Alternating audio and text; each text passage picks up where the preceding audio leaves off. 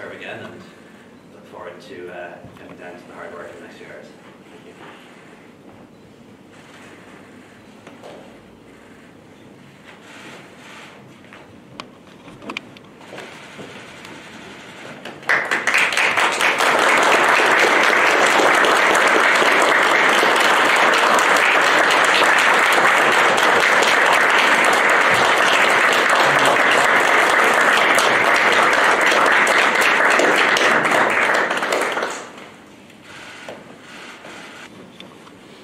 うん。